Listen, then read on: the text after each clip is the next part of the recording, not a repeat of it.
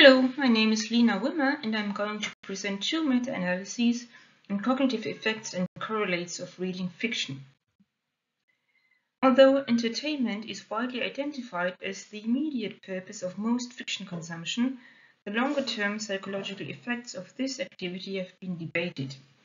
In this regard, the field of social cognition has attracted the most scholarly activity in recent years.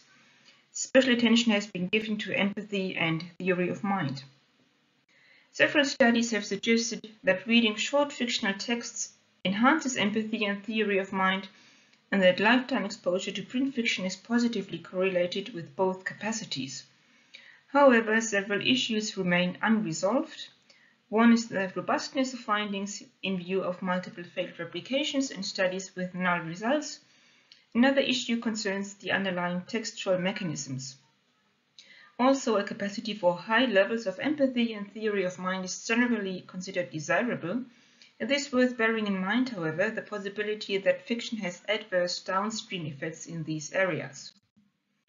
Similar disputes about whether the effects of fiction are positive or negative are familiar in two other domains. First, it is often suggested that written fiction is a source of knowledge in the sense that it enables readers of all ages to acquire correct information and desirable attitudes. By contrast, one of our studies found that the correlation between lifetime exposure to written fiction and general knowledge did not differ from the correlation between lifetime exposure to written non-fiction and general knowledge. What is more, a number of experiments have demonstrated that readers may easily acquire incorrect information from fiction even though they are aware that authors of fictions do not stick reliably to the truth. A similar dispute has emerged regarding fiction-based effects on biases and prejudices.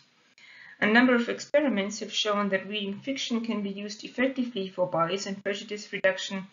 However, according to Goffin and Friend, although these experiments provide evidence that fictions can reduce harmful biases and prejudices, they fail to demonstrate that fictions do not also increase them.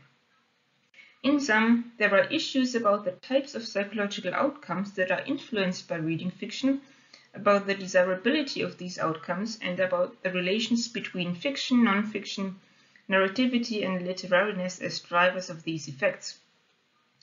These and other continuing debates um, over the cognitive effects of reading fiction highlight the importance of the topic as well as the need for quantitative syntheses as provided by meta-analyses to resolve those debates.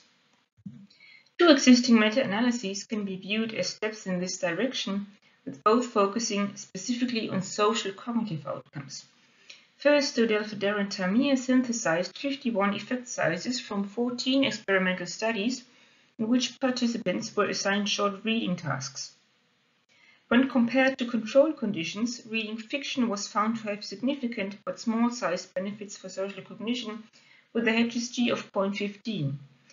None of the variables under investigation was found to moderate the aggregate meta-analytic effect. Publication bias analyses did not suggest the presence of publication bias. Furthermore, Quinlan and colleagues investigated the evidential value of this body of research through a p-curve analysis. This involved 13 studies, eight of which were included in Dodell-Feder and Tamir's meta-analysis. In principle, the results confirmed the evidential value. However, as statistical power was low, the evidential value was not robust. Second, Mumper and Gerrig synthesized effects from 30 studies in which the frequency of reading fiction was correlated with social cognitive skills. The volume of both fiction and non-fiction reading was found to be significantly positively correlated with empathy. Aggregate correlation coefficients were 0.07 and 0.05 respectively, and also with mentalizing. The aggregate correlation coefficients here were 0.21 and 0.09. Again, none of the variables under investigation emerged as a significant moderator. There was also no evidence for publication bias. Taken together, these two meta-analyses made important contributions to the literature as they showed that reading fiction is accompanied by small-sized benefits for social cognition. However, although the body of research covered was adequate given the infancy of the field at the time, it is likely to have limited power. This may explain why neither meta-analysis detected any significant moderator variables. Furthermore, both projects were confined to the area of social cognition, so do not permit conclusions about broader cognitive effects and correlates of reading fiction. This leads me to the present meta-analyses. We practiced open science as best we could. The QR code on the left should lead you to the pre-registration document and the QR code on the right to our materials and datasets. We carried out two meta-analyses that aim to significantly update and extend previous work. Meta-analysis 1 paralleled the review by Dodell-Feder and Tamir and meta-analysis 2 the one by Mumper and Gerrig. The following research questions were investigated in both meta-analyses. First, how many studies have investigated cognitive effects or correlates of reading fiction? What is the synthesized effect size across these studies? And what moderator variables does this total effect size depend on? For meta-analysis 1, we considered research that meets the following inclusion criteria. It follows a true experimental design. It includes a control condition that does not involve reading fiction. And it includes at least one measure of cognition that goes beyond both literacy and state level indicators Following the APA Dictionary of Psychology, we define cognition as all forms of knowing and awareness, such as perceiving, conceiving, remembering, reasoning, judging, imagining, and problem solving. We also require the full text to be written in English. The only exclusion criterion was research that focuses on patient samples. In meta-analysis 2, we included research that fulfills the following criteria it correlates at least one measure of lifetime exposure to print fiction or non-fiction with at least one measure of cognition, and cognition was just identified as in meta-analysis 1, and the remaining criteria were also like, just as in meta-analysis 1. We performed a joint literature search for both meta-analyses, a database search using the search term fict or non-fict or non-fict was carried out using the um, databases specified here. Uh, we also searched the publication lists of authors whose studies were included. In addition, we contacted these authors for unpublished studies and put out a call for unpublished studies via the mailing lists of the Society for Text and Discourse and the IGEL. Furthermore, we searched the reference lists of articles meeting inclusion criteria and also the reference lists of several reviews and meta-analyses which are detailed in our pre-registration document. We also considered research reports found through manual search. Turning to statistical analyses, for meta-analysis 1, effect sizes were calculated as bias-corrected Hedges' g, representing the standardized mean difference between reading fiction and the comparison group, such, such that positive effect sizes represent better performance in the fiction group. For meta-analysis 2, effect sizes were obtained by transforming the correlations from each contributing study into a Fisher z-score, then averaging the z-scores together and transforming the averaged z-score back into an aggregate correlation for ease of interpretation. Positive correlations indicate a positive linear relationship between lifetime exposure to written fiction and cognitive benefits. We observed two types of dependencies in our data. First, that more than one dependent measure was assessed in the same sample, and second, that the same group of participants was compared more than once with another group of participants on the same dependent measure. Thus, we implemented multi-level random effects meta-analytic models that account for variance at the different levels. Since there were cross-level dependencies, we generated cluster-robust estimates from the multi-level meta-analytic models. Let's have a look at the results now. Our database search detected 32,983 entries. During the initial selection process, duplicates were removed. After titles and abstracts were screened, full texts of the remaining records were sought and checked for eligibility. This um, figure provides detailed information on the number of entries excluded at each step. Finally, 39 records were found eligible for one or both meta-analyses, and a further 88 reports were detected through means other than database search, here shown on the right-hand side. In sum, 127 reports were included in the present meta-analyses, 11 of which were included in both meta-analyses. Meta-analysis 1 included 69 and meta-analysis 2 included 111 statistically independent studies. For meta-analysis 1, our primary research question addressed whether and to what extent reading fiction compared with control activities effectively enhances cognition. According to our meta-analysis of 368 effect sizes from 69 studies, compared with control activities, reading fiction led to greater cognitive benefits. This can be seen from the funnel plot here, in which each dot represents one of the 368 effect sizes. Effect sizes on the x-axis are plotted against their standard error on the y-axis. The dotted vertical line represents the mean meta-analytical effect, and we can see that it is greater than zero.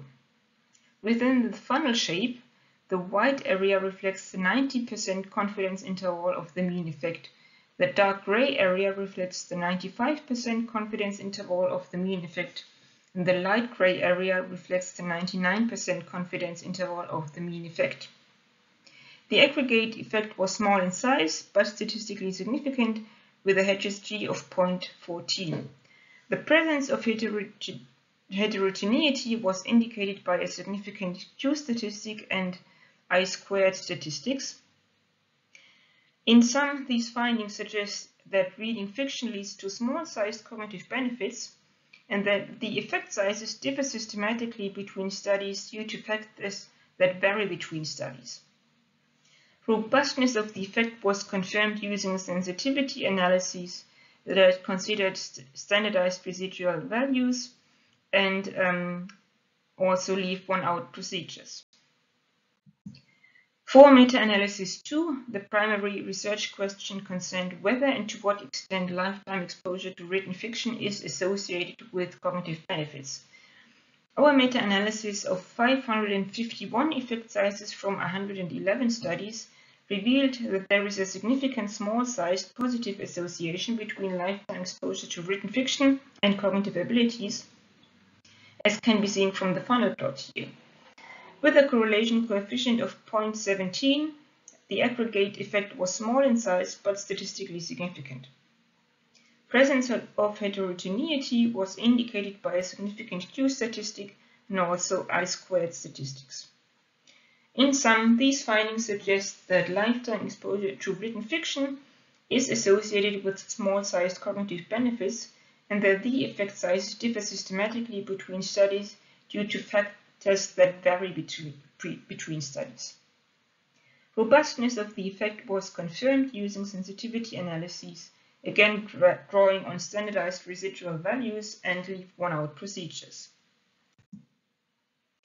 Let's move on to moderator analyses. Results for meta-analysis 1 are summarized in this table. Significant moderations are highlighted in green. According to the meta-regressions, the overall meta-analytic effect was moderated significantly by first, type of comparison group. Specifically, effect sizes were greater when reading fiction was compared to either watching fiction or reading nothing than when reading fiction was compared to reading non-fiction. A second moderating effect emerged for outcome variable. Significant effects were observed only when the outcome was either empathy or theory of mind, whereas effects did not differ significantly from zero for the remaining outcomes.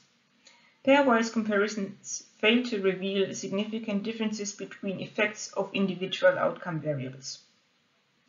Thirdly, the overall meta-analytic effect was found to be moderated by publication status, that is, published study, studies demonstrated significantly greater effects than unpublished studies. Additionally, the effect for unpublished studies did not differ significantly from zero. Due to time restrictions, I can't explain all moderator variables under investigations, but I'm happy to take questions on this. This also applies to meta-analysis 2. Moderation results for meta-analysis 2 require two tables, and this is the first one. Um, I can only talk about some of the significant moderations. Particularly, publication status emerged as a moderator as the meta-analytic effect was significantly greater for published than for unpublished studies. Regarding the outcome variables, all effects except those associated with moral cognition differed significantly from zero. Pairwise contrasts showed that effects linked with verbal abilities were significantly greater than those associated with all other outcome variables. In addition, general cognitive abilities were related to significantly smaller effects than verbal abilities, but to greater effects than all other outcomes. And the remaining contrasts were not significant. Beyond this, fictionality acted as a significant moderator variable, since lifetime exposure to written fiction was linked with greater effects than lifetime exposure to written non-fiction. Finally, percentage of female participants exerted a significant moderating impact, meaning that the higher the percentage of female participants within a study sample, the smaller the overall meta-analytic effect.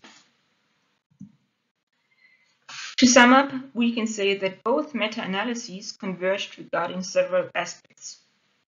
Both meta-analyses yielded small-sized aggregate effects suggesting that short fiction reading assignments cause small cognitive benefits and that lifetime exposure to written fiction is related to small cognitive enhancements.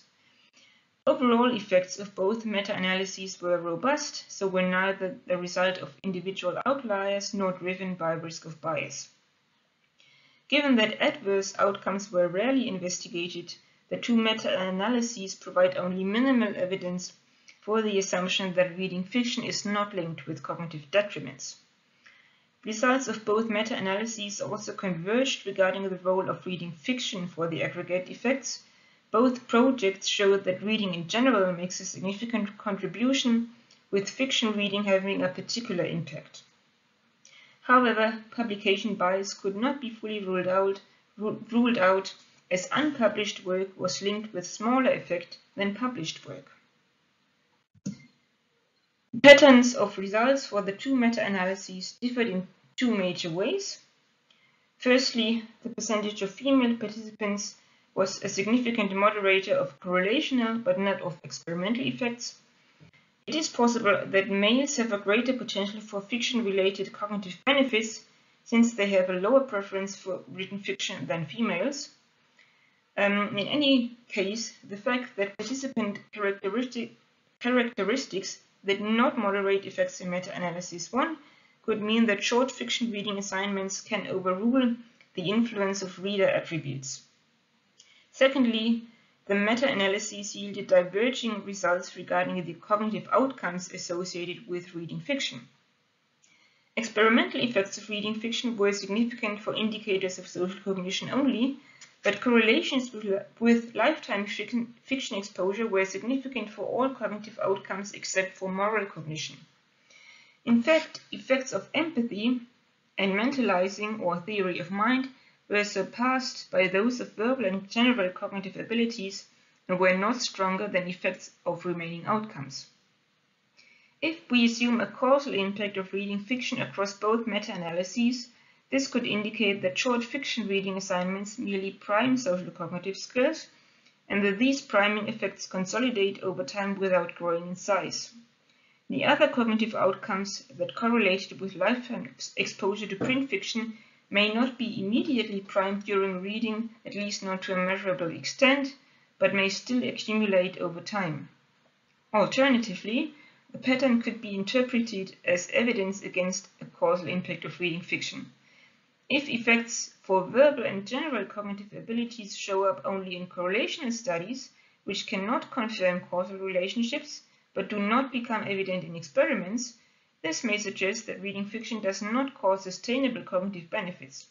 In that case, the aggregate effect obtained in meta-analysis 1 may reflect a transient priming response and the overall effect yielded in meta-analysis 2 may reflect differences in fiction reading preferences between people high in verbal and or general cognitive abilities. Finally, third variables such as education level could underlie the association between lifelong fiction reading and cognition. To conclude, we provide robust evidence for a small positive relationship between reading fiction and cognitive benefits. Whether this relation represents a sustainable change caused by reading fiction remains unknown. Further research needs to examine the underlying textual mechanisms and potential for adverse outcomes of reading fiction, implement stronger manipulations of reading volume, and consider publication of results independent of statistical significance, which could also be an invitation directed to publication outlets. Before I close, I would like to thank my collaborators, Heather Ferguson, Greg Currie, Stacie Friend, and Jörg Wittwer, and now I thank you very much for your attention and I'm looking forward to the Q&A session at the conference. Thank you.